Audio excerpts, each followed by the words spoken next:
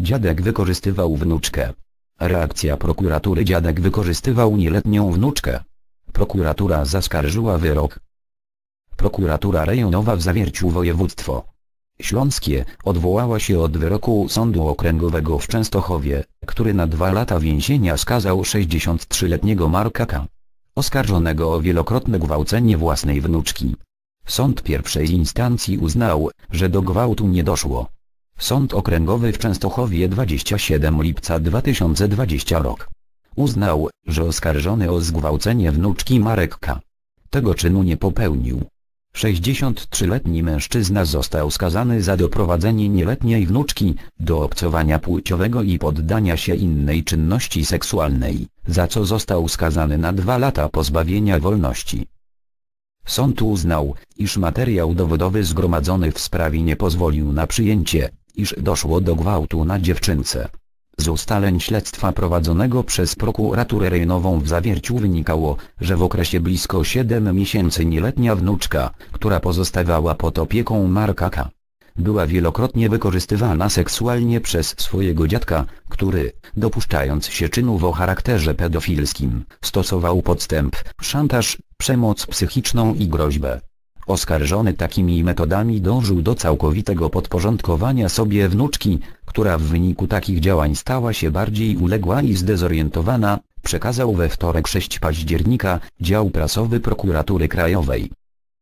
Sposób niewątpliwie przemocowy prokuratura złożyła od tego wyroku apelację.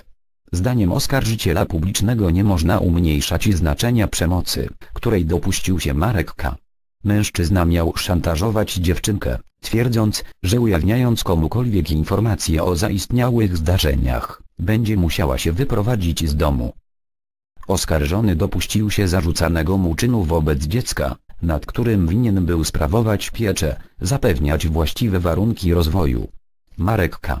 wykorzystywał swoją pozycję, wymuszając na wnuczce określone zachowania i posłuszeństwo, czyniąc to w sposób niewątpliwie przemocowy prowadzący do jej cierpienia i krzywd psychicznych, stwierdziła prokuratura.